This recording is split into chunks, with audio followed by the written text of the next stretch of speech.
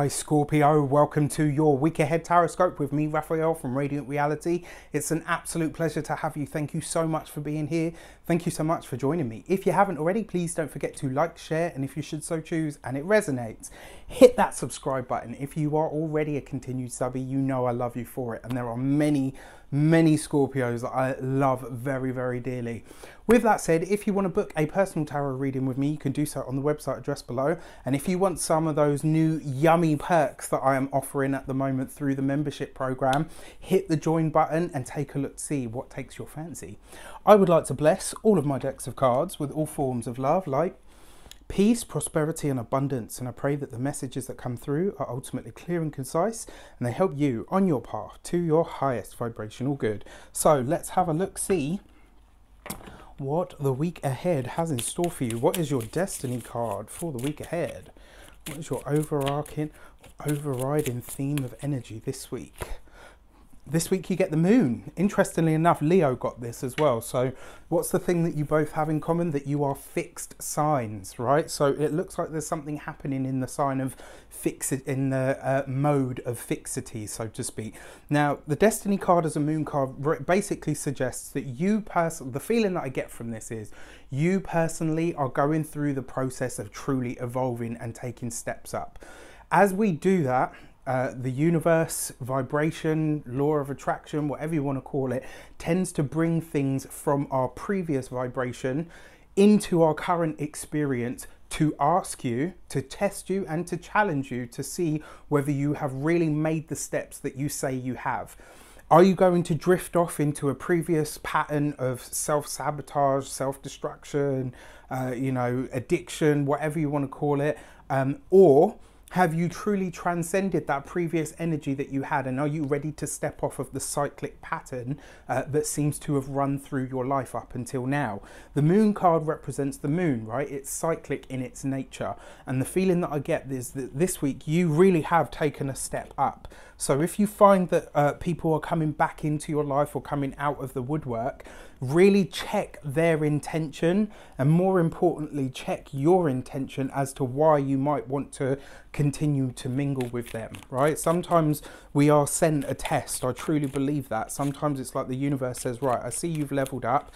Let's see if you're ready to stay in that space. Let's let's see if you're really ready to move forward like you say you are right? And you've had a jumping card and it's a very interesting card given what we've just talked about and actually it's two cards, right? So the first one that I could see was the chariot, right? So this suggests that yes, you are absolutely ready to move on, to evolve, to elevate, and to ultimately head towards what all Scorpios are naturally inclined towards, which is enlightenment, the ability to transform all of that dark, really sometimes heavy ish. Uh, so I'm trying to. Uh, evolve my own potty mouth uh, recently. I'm trying to catch myself when I'm using profanity. So um, that's my part. You know, that's a part of my test at the moment. So yeah, with the the chariot card, it really does suggest you have made big strides, um, and you want to continue down that path. That's really really important for you. Um, you know, it's, it's where you're heading ultimately.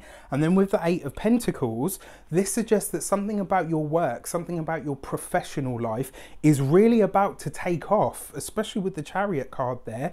Uh, one thing that I will say to you with this pairing though, uh, be prepared to be busier than expected be prepared to be more in demand than you expected. Now, one of the things that I want to say to you is, and I'm not talking to all of you here because, you know, this, it's a general message, so you'll know if this part of it is for you. If you usually kind of make so much headway and then think, oh, you know what, I'll take a nice long break now, you're not going to be able to do that this week, right? This from here on in, actually, for the rest of the year, this is where it starts to ramp up. This is where the pressure is on. This is where it's up to you to perform, right? You, you said you wanted something, you worked on manifesting it, you worked on creating it, you did this whole evolution thing. The universe is now sending you not only what you asked for, but also it's matching your vibration.